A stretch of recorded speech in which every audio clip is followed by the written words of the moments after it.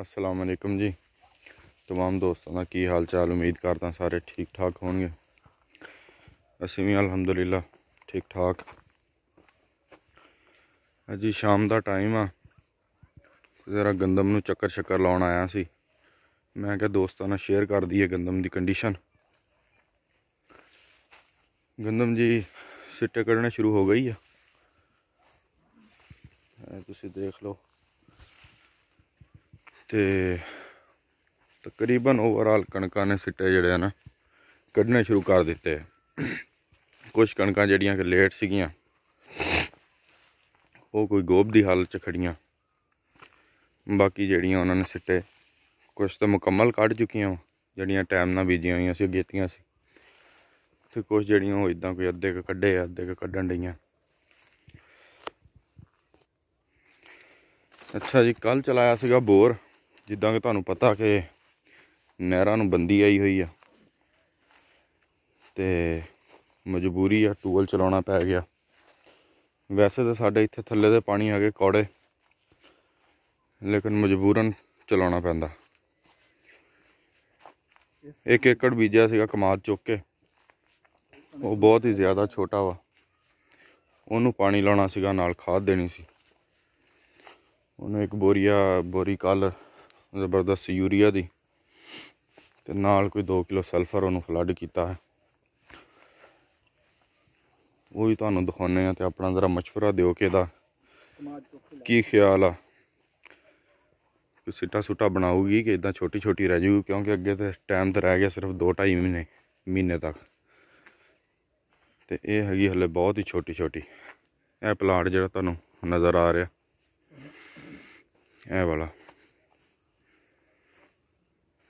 ਇਹ ਦੇਖ ਲਓ। ਇਹ ਆ ਜੀ। ਇਹਦੀ ਕੰਡੀਸ਼ਨ ਆ ਹਲੇ।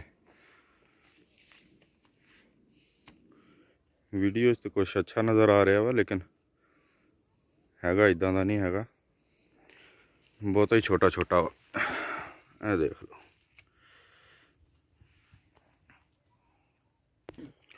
ਅੱਛਾ ਇਸ ਏਕੜ ਚੋਂ ਨਾ ਬਹੁਤ ਲੇਟ ਕਾਸ਼ਤ ਕੀਤੀ ਅਸੀਂ। ਤੇ ਕਮਾਦ ਸੀਗਾ, ਕਮਾਦ ਚੁੱਕ ਕੇ ਇੱਥੇ ਕਣਕ ਕਾਸ਼ਤ ਕੀਤੀ ਅਸੀਂ। ਤੇ ਜੰਗਲੀ ਕਬੂਤਰ ਤੇ ਹੋਰ ਪਰਿੰਦਿਆਂ ਨੇ ਬਹੁਤ ਦਾਣਾ ਚੁਗਿਆ ਇਹਦਾ। ਲੇਕਿਨ ਫਿਰ ਵੀ ਅਲਹਮਦੁਲਿਲਾ, ਜੋ ਨਸੀਬ ਦਾ ਸਾਡੇ ਨਸੀਬ ਦਾ ਉਹ ਸਾਨੂੰ ਮਿਲਣਾ। ਫਿਰ ਵੀ ਠੀਕ ਉੱਗ ਪਈ ਆ। ਇਹ ਜੀ ਆਪਣਾ ਟੇਲ ਤੋਂ ਪਾਰ ਵਾਲਾ,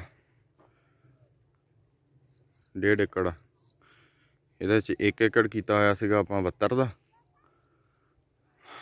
72 ਤੇ ਬੀਜਿਆ ਸੀਗਾ ਤੇ ਇਹ ਵਿਗਾ ਜਿਹੜਾ ਨਾ, ਇਹ ਸੀਗਾ ਗੱਪਸ਼ਟ ਕੀਤਾ ਹੋਇਆ। ਜਿਹੜਾ 72 ਵਾਲਾ ਬੀਜਿਆ ਹੋਇਆ ਸੀਗਾ, ਉਹ ਸਿੱਟੇ ਕੱਢਣ ਲੱਗ ਪਿਆ ਵਾ।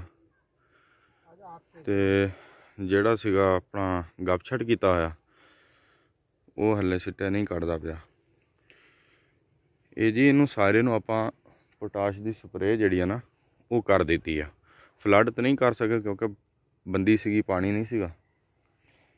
ਤੇ ਆ ਨਹਿਰ ਸਾਡੀ ਦੇਖ ਲਓ ਸੁੱਕੀ ਪਈ ਆ, ਰਮੇਸ਼ ਨੇ ਵਿੱਚ ਅੱਗ ਲਾਈ ਹੋਈ। ਇਹਨੂੰ ਸਰਦੀ ਲੱਗਦੀ ਪਈ ਆ। ਤੇ ਇਸ ਵਜ੍ਹਾ ਤੋਂ ਅਸੀਂ ਫਿਰ ਇਹਨੂੰ ਨਾ ਸਪਰੇਅ ਕਰ ਦਿੱਤਾ ਸੀ ਪਟਾਸ਼ ਜਿਹੜੀ ਨਾ ਫਲੱਡ ਨਹੀਂ ਕੀਤੀ। ਤੇ ਅੱਲਾ ਖੈਰ ਕਰੇਗਾ ਅੱਗੇ। ਬਾਕੀ ਫਿਲਹਾਲ ਤੱਕ ਬਿਮਾਰੀ ਤੋਂ ਮਹਿਫੂਜ਼ ਆ, ਕੋਈ ਕੁੰਗੀ ਸ਼ੁੰਗੀ ਨਹੀਂ ਆਈ ਹਲੇ। ਤੇ ਅਸੀਂ ਹੁਣ ਸੇਕਦੇ ਹਾਂ ਜ਼ਰਾ ਅੱਗ। ਤੁਸੀਂ ਵੀ ਇੰਜੋਏ ਕਰੋ। ਤੇ ਠੰਡ ਕਾਫੀ ਜ਼ਿਆਦਾ ਵਾ। ਹਾਲਾਂਕਿ ਹਲੇ ਸੂਰਜ ਵੀ ਖੜਾ ਵਾ। ਲੇਕਿਨ ਸਰਦੀ ਜਿਹੜੀ ਨਾ, ਉਹ ਅੱਜ ਟਾਈਮ ਨਾਲ ਹੀ ਜ਼ਰਾ ਕੋਰਾ ਪਏਗਾ ਲੱਗਦਾ ਅੱਜ ਰਾਤ।